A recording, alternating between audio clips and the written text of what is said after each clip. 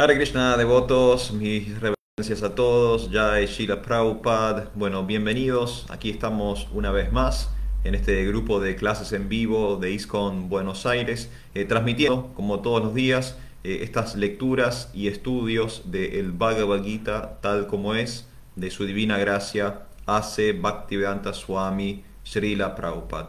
Eh, antes de comenzar, me voy a presentar. Mi nombre es Arjuna Saka Das.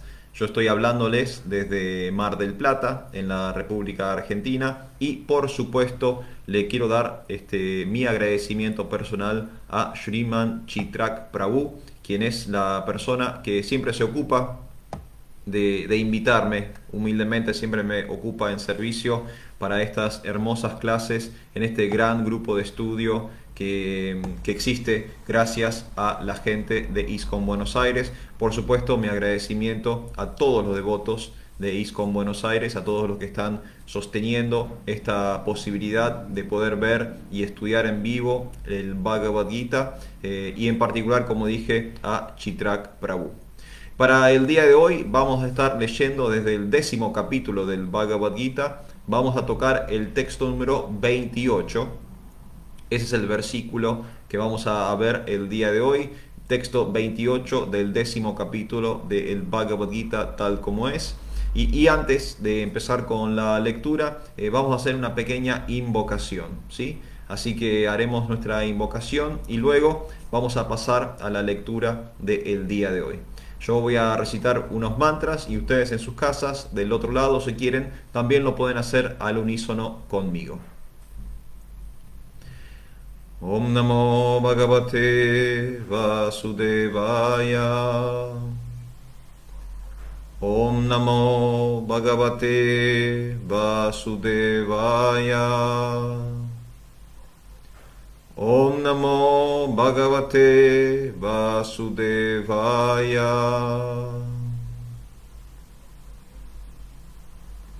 Muy bien, entonces Vamos a comenzar, si ustedes quieren, comenzamos con la lectura del día de hoy, Bhagavad Gita 10.28. Estamos, como dije, en el texto 28 del décimo capítulo del Bhagavad Gita, intitulado La opulencia del absoluto. Y en este capítulo, eh, Krishna hace algo que ya empezó a hacer en el capítulo número 7, y es eh, mencionarse a sí mismo o referenciarse a sí mismo eh, con distintos elementos del mundo material. ¿sí? Entonces, por ejemplo, en este capítulo número 10, él dice que de las ex extensiones de agua, él es el océano, ¿sí? de las cosas inmóviles, él es el Himalaya, eh, él es el árbol bañano, ¿sí? todos elementos, digamos, del mundo material para que nosotros podamos referenciarnos y entender que Dios es eh, omnipresente, que está en todas partes. Y no solamente eh, Krishna está diciendo lo que Él es en el mundo material, sino también eh, de cosas metafísicas e incluso espirituales. Por ejemplo, en los últimos versos que llevan hasta este texto número 28 que vamos a leer del día de hoy, Él dice que de las vibraciones es el trascendental Om, que de los sacrificios es el canto de los santos nombres, yapa, ¿sí? Eh, y también menciona a grandes personalidades, por ejemplo, él dice que entre los sabios eh, de los semidioses, él es Narada, de los Gandharvas, él es Chitrarata, ¿sí? Eh, de los seres perfectos es el sabio Kapila, y así va durante todo este capítulo número 10, Krishna mencionándose o referenciándose. Básicamente va eh, presentando una lista, un gran listado de avatars, de manifestaciones de la divinidad, ya sea en el mundo físico, con grandes personalidades, entre los animales, entre las sustancias o los elementos del mundo, también cosas metafísicas y por supuesto eh, nociones espirituales.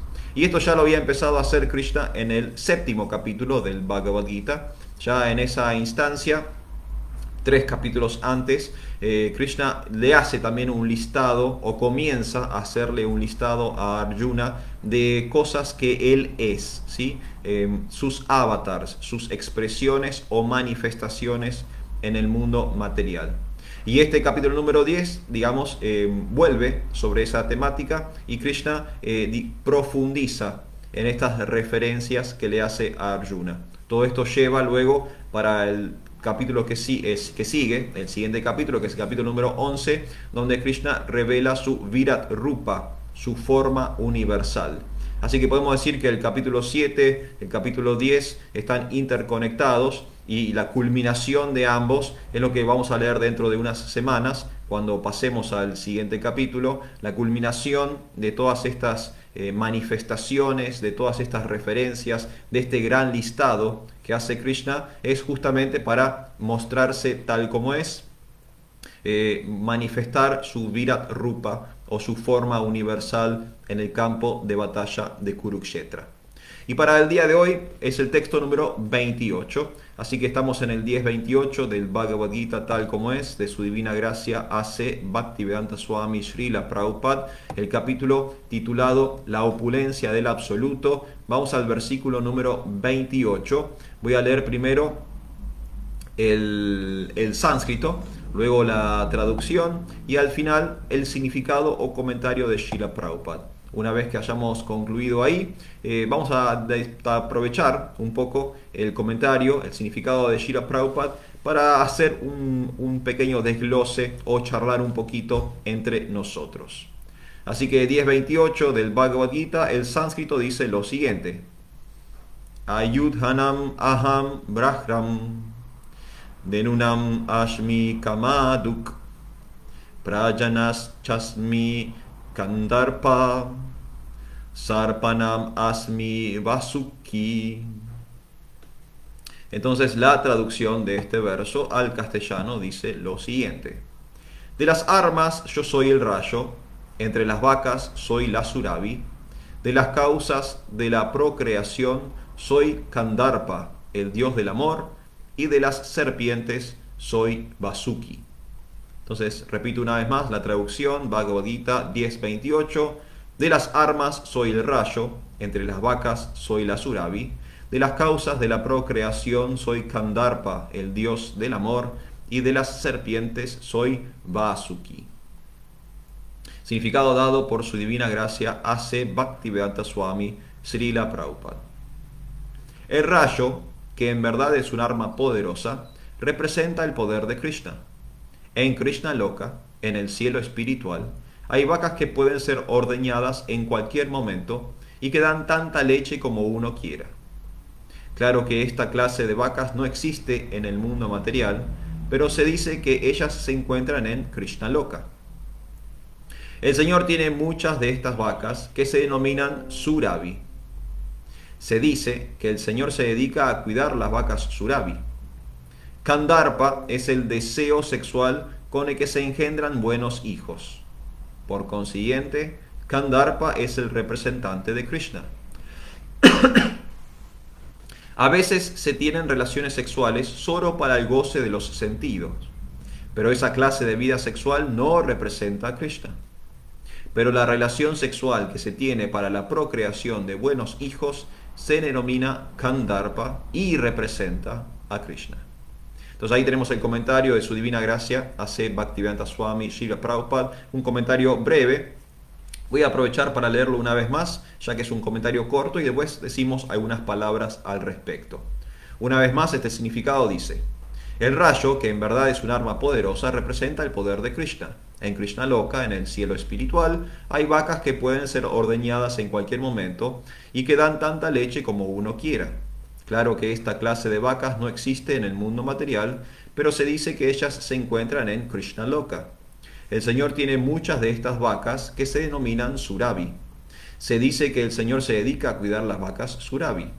Kandarpa es el deseo sexual con el que se engendran buenos hijos. Por consiguiente, Kandarpa es el representante de Krishna. A veces se tienen relaciones sexuales solo para el goce de los sentidos, esa clase de vida sexual no representa a Krishna. Pero la relación sexual que se tiene para la procreación de buenos hijos se denomina Kandarpa y representa a Krishna. Om Tat Sat.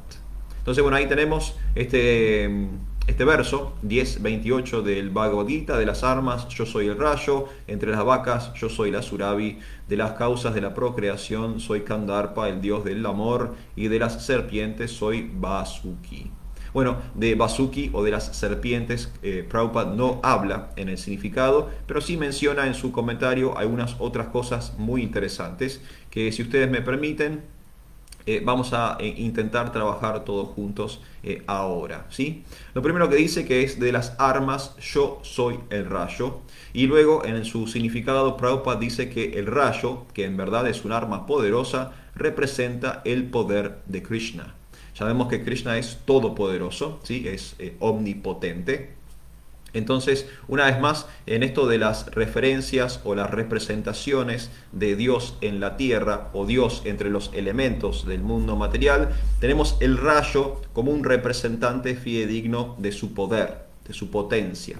El rayo también está asociado con el señor Indra, ¿sí? el señor del cielo, el semidios que está a cargo del clima, de las cuestiones atmosféricas.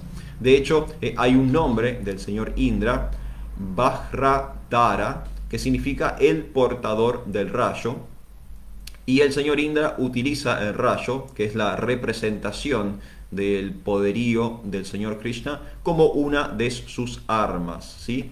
Eh, si ahora en, pocas semanas tenemos eh, la celebración del festejo de Govardhan Puja, y bueno, siempre en esas épocas del año eh, los devotos leemos del Krishna Book o leemos eh, las narraciones que tienen que ver con eh, el pasatiempo de Govardhan, cuando el señor Indra intentó inundar, intentó aniquilar, arrasar la aldea de Brindavan y en el pasatiempo, en la narración de ese, de ese suceso, se habla ¿no? de que Indra eh, enviaba grandes nubes, enviaba tormentas, enviaba lluvias y también enviaba rayos. ¿sí? Entonces podemos ver eh, en los pasatiempos de cómo es el rayo, este relámpago, eh, el arma de la divinidad que la manipula también el señor Indra, el semidios a cargo del cielo, el semidios que está a cargo de las cuestiones climáticas, atmosféricas, y de hecho, como dije recién, uno de sus nombres,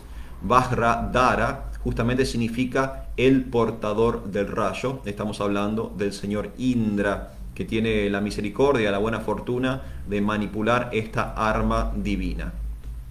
Después, eh, Prabhupada habla acerca de la Surabi, ¿sí? de las vacas del mundo espiritual. Él dice que en Krishna Loka, que es el reino de Dios, hay vacas que pueden ser ordeñadas en cualquier momento y que dan tanta leche como uno quiera. Claro que esa clase de vacas no existe en el mundo material, pero se dice que se encuentran en Krishna Loka. El Señor tiene muchas de estas vacas que se denominan Surabi. Se dice que el Señor se dedica a cuidar las vacas Surabi. Y esto también lo tenemos en nuestros pasatiempos. Eh, Krishna como Govinda, como Gopal, es el protector de las vacas, es el pastor, ¿sí? Que, sale a pasear con las vacas de su padre, eh, Nanda Maharaj, eh, todos los días. Ahora, dentro de poco también vamos a tener la festividad de Gopastami, ¿sí? el día que se conmemora justamente el primer día de trabajo del Señor Krishna, cuando su padre, Nanda Maharaj, ya considera que él es lo suficientemente adulto y responsable para que pueda ocuparse del cuidado de las, vacas, del pastoreo de las vacas de, la familia. Eh, Nanda Maharaj era un gran terrateniente, eh, hoy podríamos denominarlo casi como un industrial de, de la industria láctea, ¿sí? gracias a la gran cantidad de cabezas de ganado que él tenía, él producía bienes eh, lácteos, yogur, leche, mantequilla, ghee, etcétera, etcétera, y en base a eso eh, estaba la fortuna de su familia y entonces Krishna desde muy niño estuvo muy vinculado con eh, el pastoreo, con las vacas, con el ordeñe, eh, cuántos pasatiempos. Ahora arranca también Kartik y el famoso pasatiempo de Krishna eh, robando manteca, Krishna robando yogur de los depósitos de, su familia. Así que estas vacas, estas vacas celestiales, estas vacas espirituales, las Surabi, existen en Krishna Loka ¿sí? en el reino de Dios y dan tanta leche como uno quiera, dice, dice Shila Prabhupada en su comentario. Y sabemos que Krishna adopta esta posición del cuidado de las vacas, porque nombres como Gopal, como Govinda, eh, tienen que ver justamente con ese suceso. Eh, y después, eh, bueno, sabemos también, ayer fue el Día de la Madre en la República Argentina y algo interesante que dicen nuestras escrituras es que a la vaca se la considera una madre, ¿sí? según las escrituras védicas eh, hay siete madres o siete personas, entidades que uno puede considerar una madre. Está la madre natural de uno, está la, madre, está la, la, esposa del brahmana, está la esposa del guru, está la nodriza, está la madre tierra eh, y está la vaca. ¿sí? Hay varias madres en el plano de la materia, no simplemente la madre que da a luz, sino que en la cultura védica se entiende como madre eh, a, varias personalidades y entre esas personalidades la vaca. La vaca es considerada una madre del ser humano.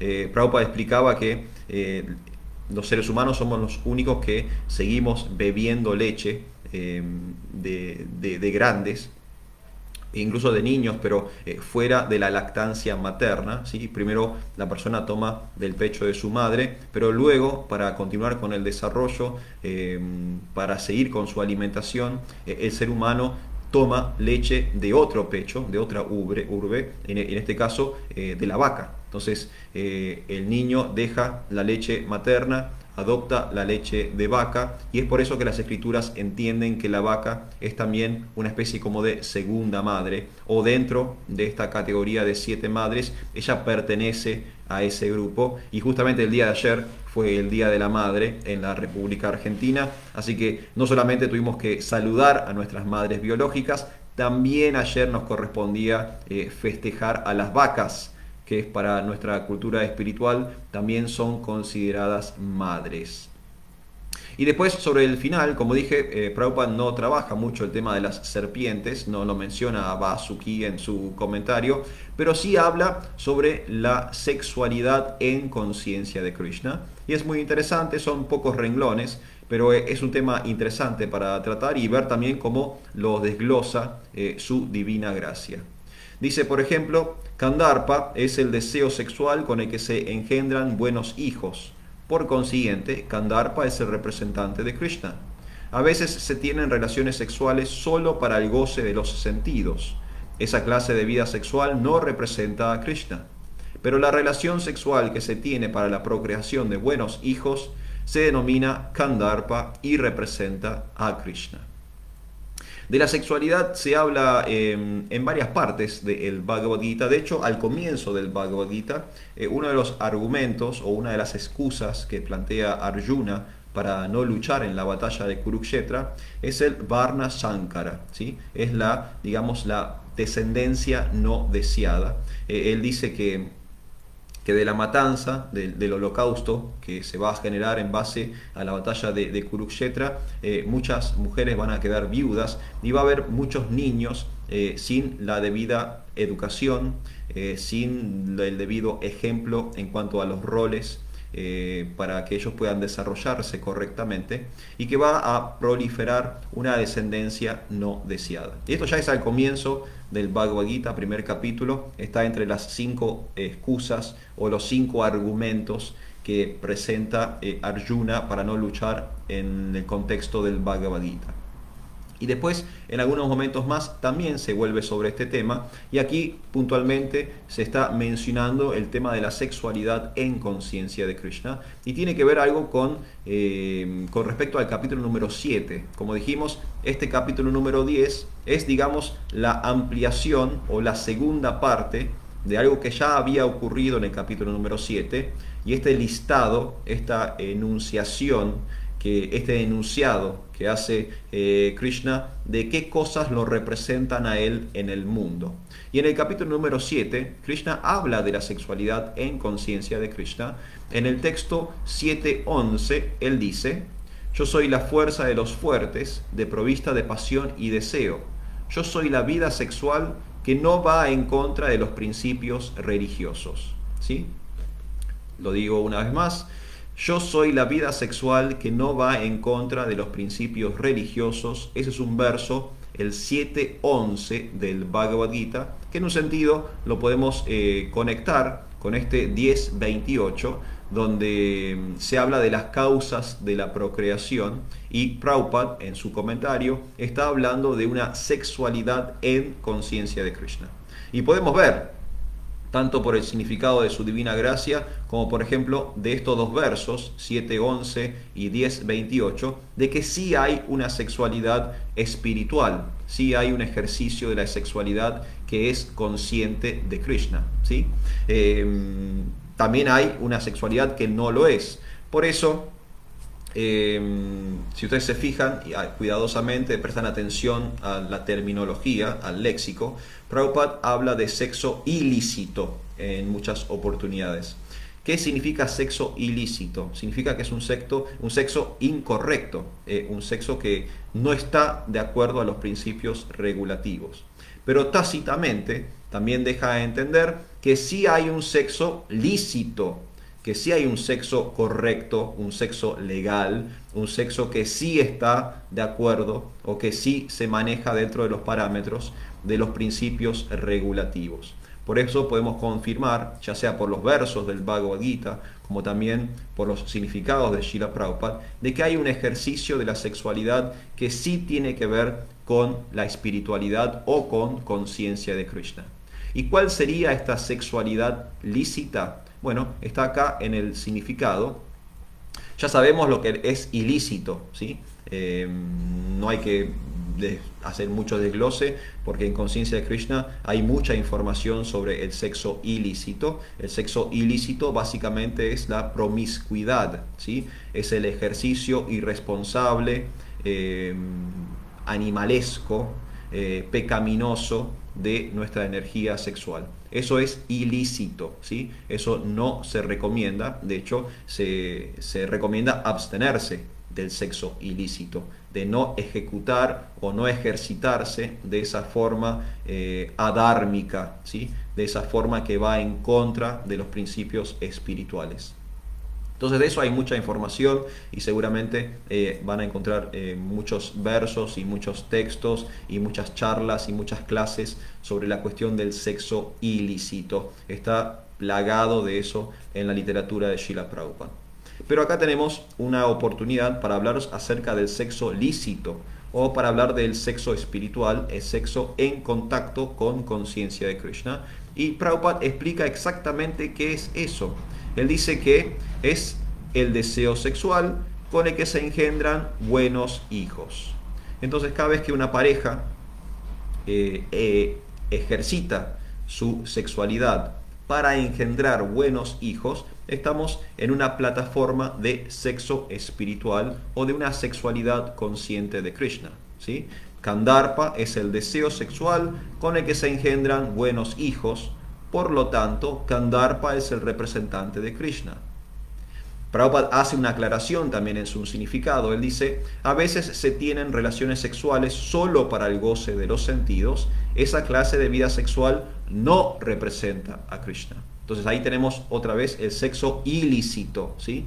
Si tiene que ver para cuestiones egoístas, si tiene que ver para cuestiones que tienen que, que, se resuelven o se resumen únicamente en el goce material eh, de los sentidos burdos, entonces por supuesto que no podemos decir que eso sea una sexualidad espiritual, claramente no representa al Señor Supremo.